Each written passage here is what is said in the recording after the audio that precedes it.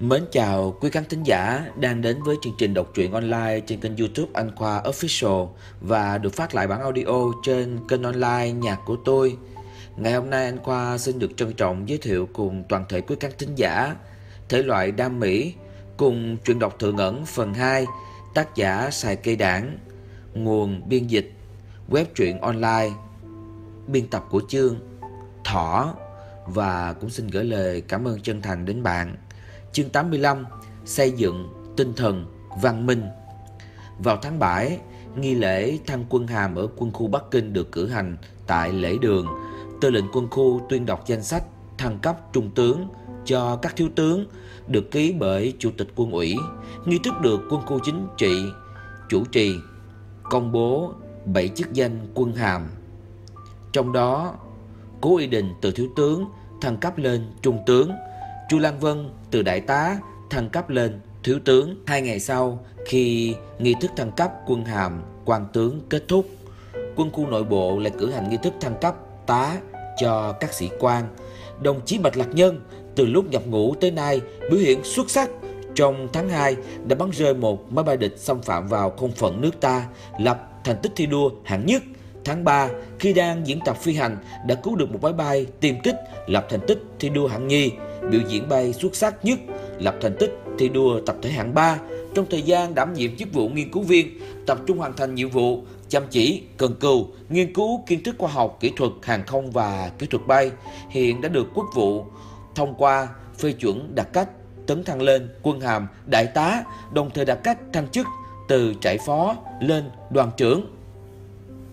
Nhân tử nhà chúng ta đang là thiếu tá, được lên thẳng đại tá, bỏ cách hàm trung tá nhé cả nhà, mắc lòng mắc ruột quá. Đây là một đoạn dịch nhỏ anh Khoa xin được đọc lại. Lưu Sung cũng nhờ có biểu hiện xuất sắc nên được thăng cấp lên hàm thượng úy. Chu Lan Vân đọc xong chỉ thị thăng cấp quân hàm được ban hành bởi Tổng tư lệnh quân khu không quân Bắc Kinh.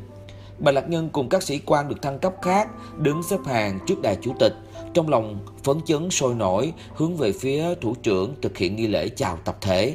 Toàn hội trường vang lên tiếng vỗ tay nhiệt liệt. Bà Lạc Nhân rút khỏi lễ đài, vừa lúc đi qua chỗ Chu Lan Vân đang đứng.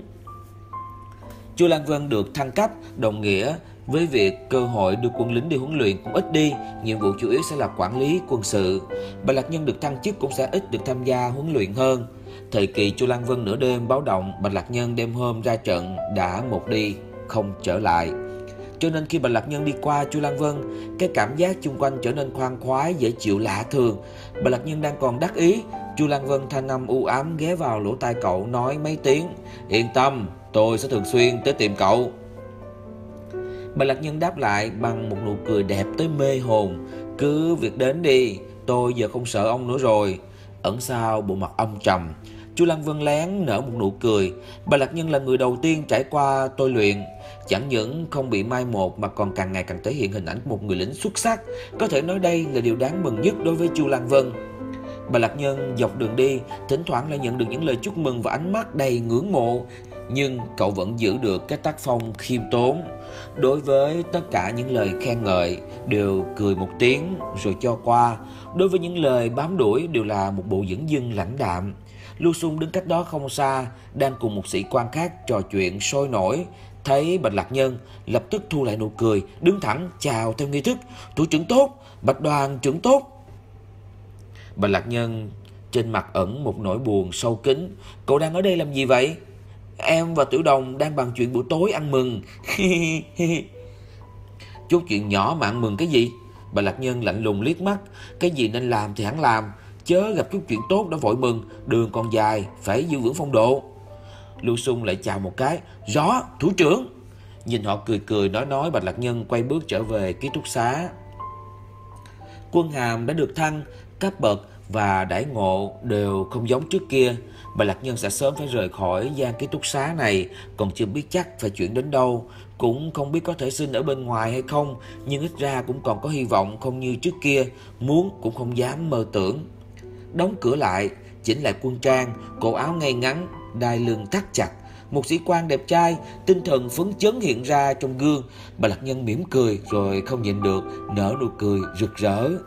Cậu muốn đi gặp cô Hải thật nhanh ngay lúc này.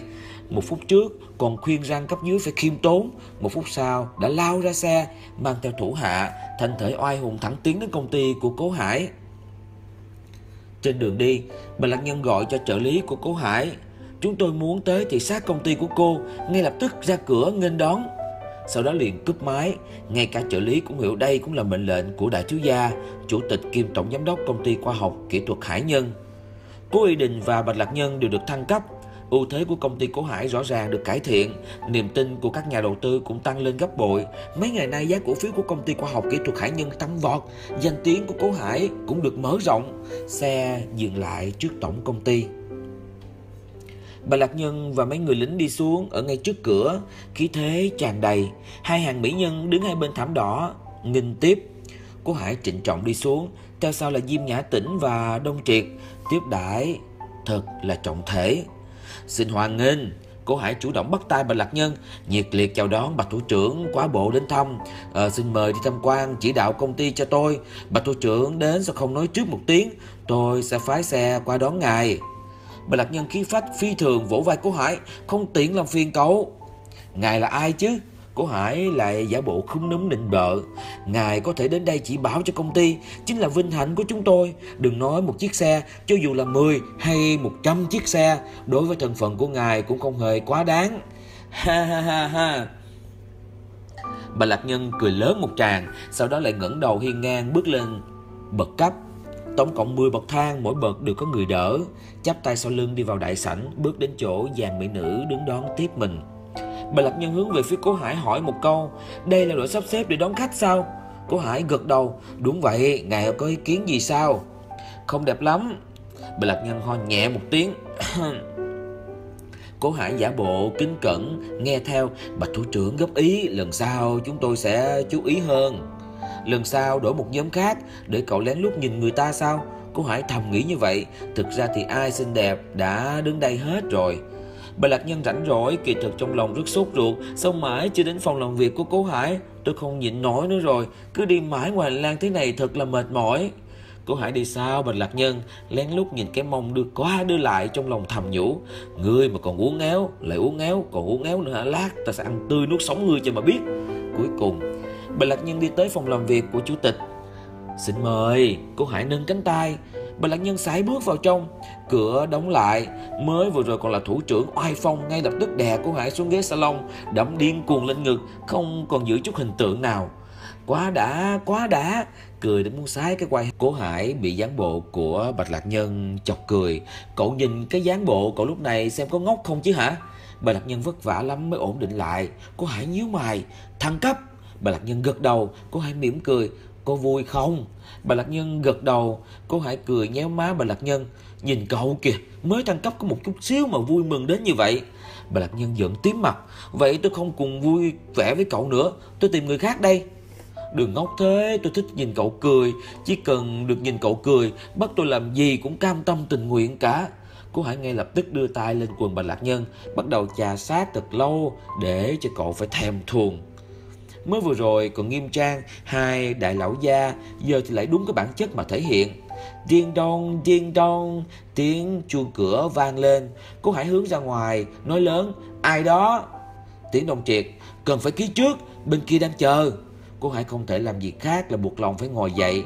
Bà Lạc Nhân chỉnh trang lại quần áo, Lại quan minh chính đại, nghiêm nghị ngồi trên ghế salon. Cậu vẫn tưởng Đông Triệt không biết về mối quan hệ giữa cậu và cô Hải. Thực ra người ta đã đứng ở cửa nghe nửa ngày rồi. Tôi đi vệ sinh. Bà Lạc Nhân đứng lên. Đi qua người Đông Triệt, Hai người cùng mỉm cười, dáng vẻ tươi cười, khí chất hào hùng giống nhau, Như là soi gương. Trong phòng làm việc của tôi có nhà vệ sinh. Cố Hải hướng về bà Lạc Nhân nói Bà Lạc Nhân chẳng thèm dùng chung vẫn đi ra ngoài. Kỳ thực cậu sợ nếu có cậu ở đó Cố Hải sẽ không tập trung làm việc được. Kết quả từ phòng vệ sinh trở về Bà Lạc Nhân vô tình nghe được cuộc nói chuyện. Thấy không? Phó Tổng đến thật. Anh ta vào thật đấy Nhất định là ghen. Đúng rồi, vừa rồi ở cổng của công ty, cô Tổng nắm tay vị quân nhân đẹp trai kia, tôi thấy Phó Tổng liền khó chịu. Hà hà, Phó Tổng của chúng ta cảm giác được nguy cơ rồi. Bước chân Bạch Lạc Nhân ngưng lại trong giây lát, sau đó lại đi về phía phòng làm việc của Cố Hải. Tới nơi, hai người vẫn đầu kề bên đầu, bàn bạc trao đổi công việc. Bạch Lạc Nhân khẽ gõ cửa. làm phiền rồi. Liền đổi sang giọng điệu của thủ trưởng. Tôi thấy công ty của các cậu cần phải đồng loạt xây dựng tinh thần văn minh.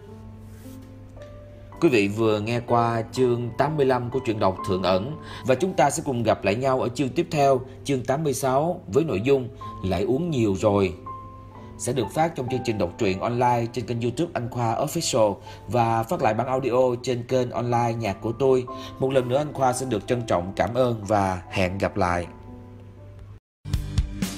你背着我说起从前 一个人拖延着时间，我笑着听着你诉说，眼前却模糊了一片。你拉起我曾犹豫不决的手，向前慢慢走，一起慢慢走。